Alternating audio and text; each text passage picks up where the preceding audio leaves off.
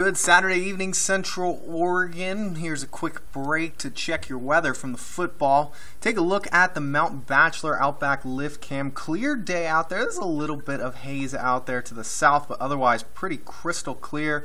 Could see mountains in Washington today uh, from some of our elevated peaks, so pretty awesome to see that. As we take a look at the future track, we are expecting some clouds to move through the area tonight, won't stick around very long.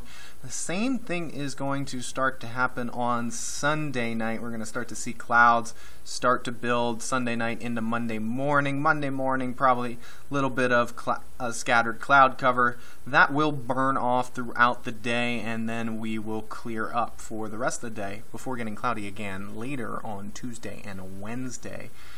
Temperatures tonight, we're looking at uh, lows in the lower 40s to upper 30s, 31 in La Pine under freezing. And then for tomorrow, another warm day. We're in this little bit of a quick warm up that'll last us until Tuesday.